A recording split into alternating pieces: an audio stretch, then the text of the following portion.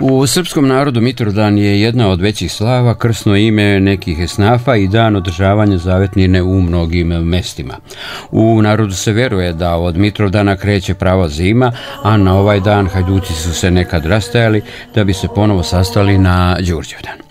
Za svog zaštitnika uzeli su ga i članovi Udruženja ratnih vojnih invalida Srbije, a članovi iz odbora u Šidu položili su vence na spomeniku u gradskom parku u centru u spomen koji je održao sveštenik Milan Pršić. Danas proslavljamo svetog velikomučenika Dimitrija Solunskog. Evo molitvom svetom liturgijom smo proslavili ovaj praznik i ovde pored Udruženja ratnih vojnih invalida, predstavnika naše skupštine opštine, ovde isto Četničkog pokreta i Šida, sabrali smo se da se pomolimo Bogu kod ovog časnog krsta u našem gradskom parku za sve one koji su svoj život položili 90. godina za krst časni za slobodu zlatnu. Svakako, svi oni koji se sećaju tih ljudi i naših branioca gospod daruje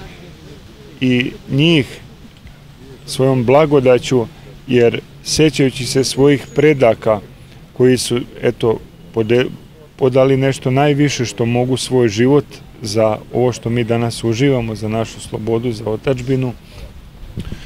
Gospod prvenstveno njima daruje eto carstvo nebesko za tu njihovu žrtvu, a svima onima koji su ih izgubili ovde utehu i poruka i pouka dakle iz Svete crkve je da negujući svoju tradiciju kroz svoju veru mi treba da ovaj praznik obeležavamo eto na ovaj način da poštujemo svoje svete pretke koji su ne samo u ovom nego u svim ratovima postradali za našu slobodu.